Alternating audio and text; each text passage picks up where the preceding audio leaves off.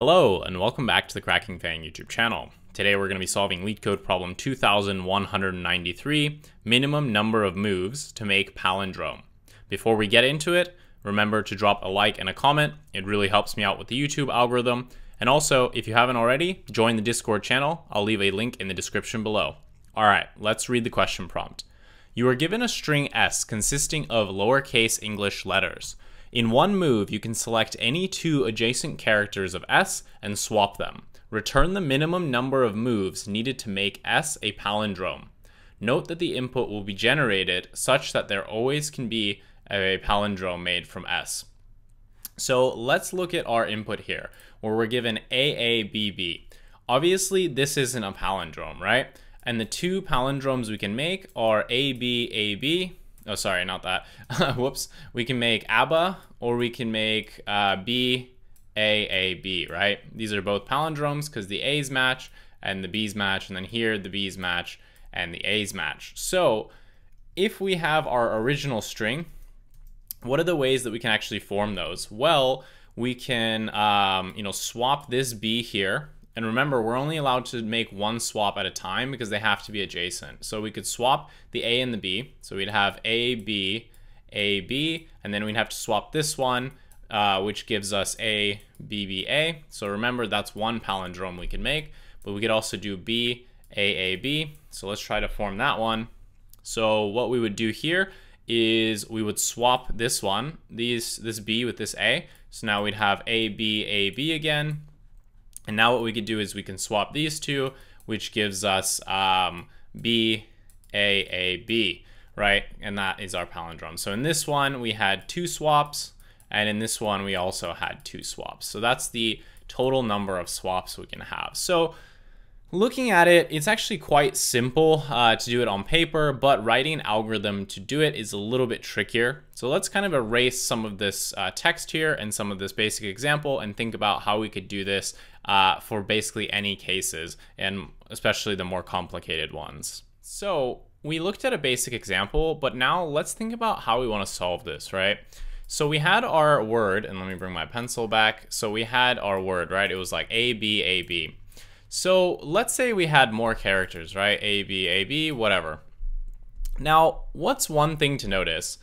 If, let's just say we had an extra A here, we know that, um, you know, these A's will match. So basically, they don't need to move in terms of building a palindrome, right? We're trying to shift this so it's a palindrome.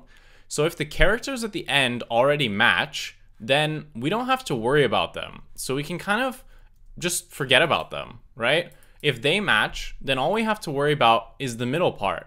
So now we have B, A, B, A, B, A, B, and now these characters match, so we don't have to move anything again. So we can get rid of them. We can pretend like it's an even easier problem. So now we have A, B, A, B, A, right? So then we have, you know, the A's here, which match, so we can basically just keep making this into a smaller problem as long as the letters on the end match. That way we only have to shift whatever's inside of it, which basically re reduces the amount of like spaces we have to shift. So this is the general gist of our algorithm, right? What we want to do is given a string, we don't want to be moving two characters into place. All we're going to do is we're going to check whatever the last uh, element here is at the end, and we're basically going to find another instance of that character, and we're going to see how many moves we need to uh, move it such that it moves to the beginning. That way, basically, these two will cancel each other out, and we'll just make all of those swaps. So I think in this question, uh, this is a bad uh, example because we actually have uh, multiple characters here of the same ones, but the general gist is that we want to move uh, one character to the end such that it matches whatever the end character is. Therefore, we can just pretend like the, the end already matches. So all we need to do is the inside. And we'll basically just keep doing this process until, you know, we've basically rearranged our whole string. So that's all we're to do. Now, how many moves is that to take, right? Whatever the index of the, you know, character that we find, so say it's an A, say one of the A's that we find, let's just say this is a C, if this is where we find it, so this is to be at index what? So this is 0, 1, 2. the index will actually tell us how many moves we need to actually get it to the end, right? So we'll do, you know, two moves to actually move it to the beginning. So that would be two added to our total sum of moves that we've had to make to make this into a palindrome, right?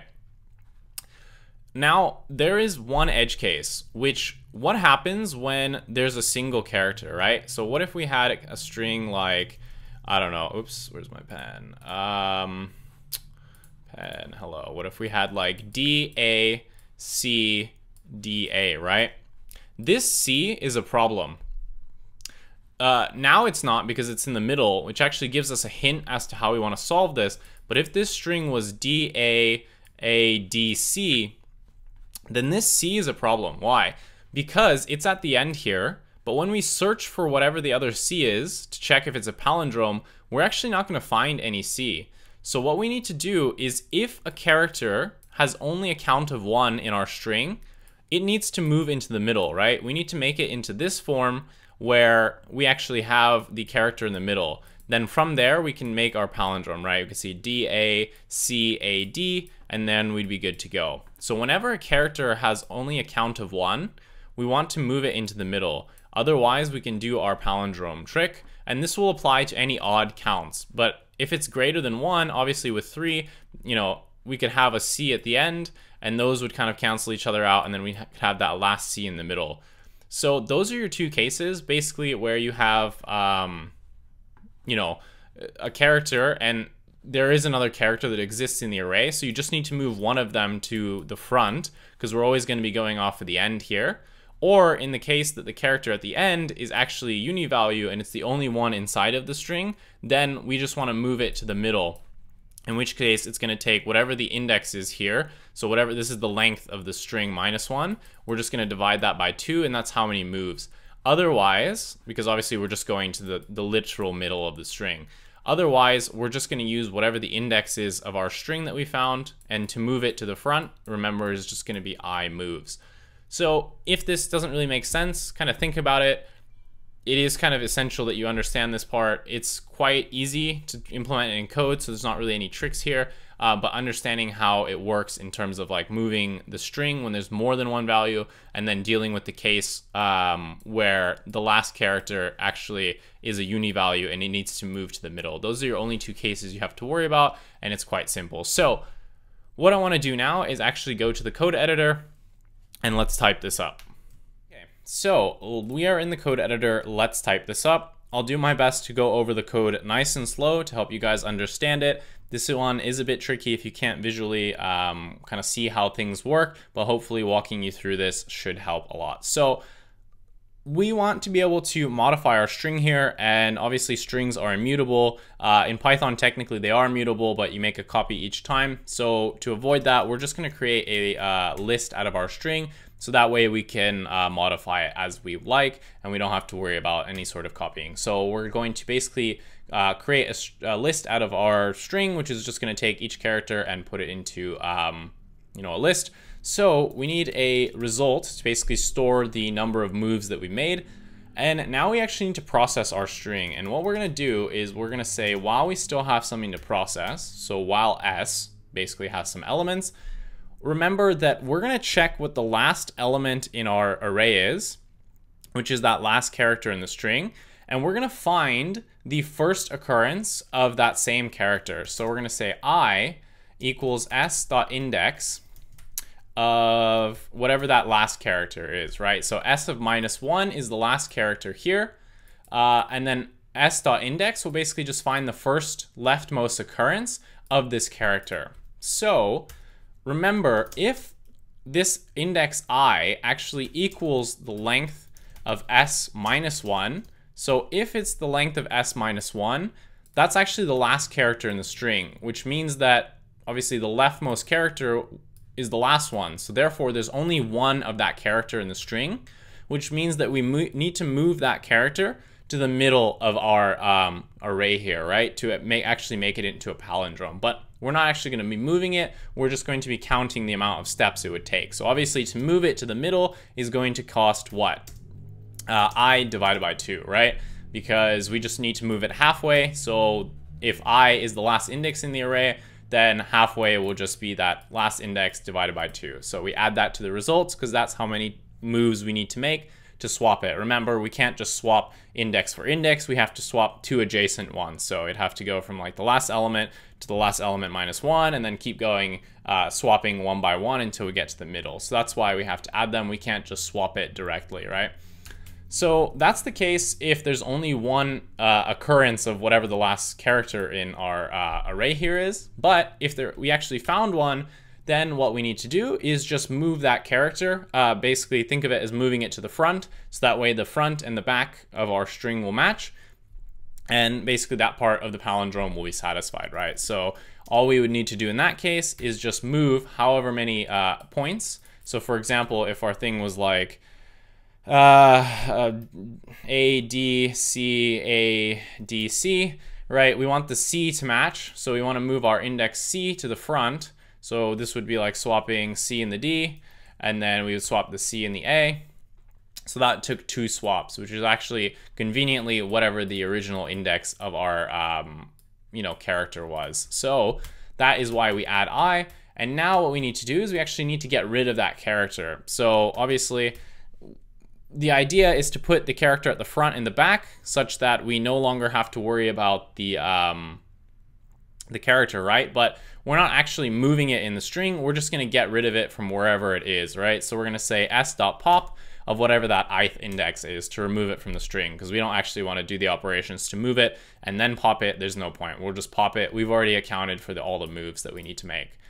The last thing we need to do is now that the front, the first character and the last character match, obviously now we don't have to worry about them anymore. We just have to make the smaller characters in the middle match, which is kind of like the divide and conquer algorithm here. So all we need to do is just pop that last character to remove it from our uh, string here and we don't have to worry about it anymore. And once this while loop breaks, all we need to do is simply, oops, uh, return, return our result here and we're done. So let's uh, how do I submit this? Let me just make sure I haven't made any syntax mistakes. Cool, it seems to be fine.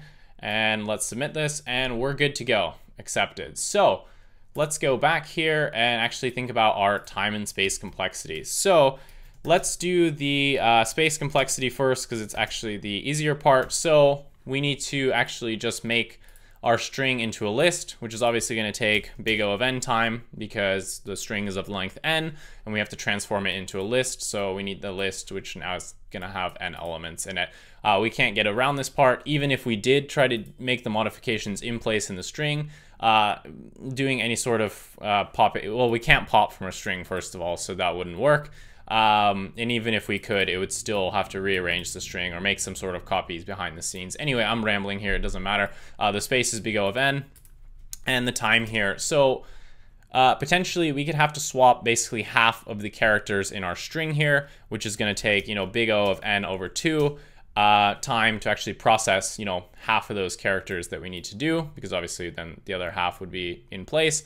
Um, but because we have this pop of i, which is an O of n operation, um, basically, oops, our time, our time complexity here is, Jesus Christ, what is going on? Uh, time complexity here is actually going to be big O of n squared, space complexity, big O of n. So relatively straightforward problem. I mean, as you can see, this is like very little lines of code, especially for a hard level question. I think it's quite tricky to come up with this. Definitely one of those where if you see the solution, it immediately clicks and you should be fine.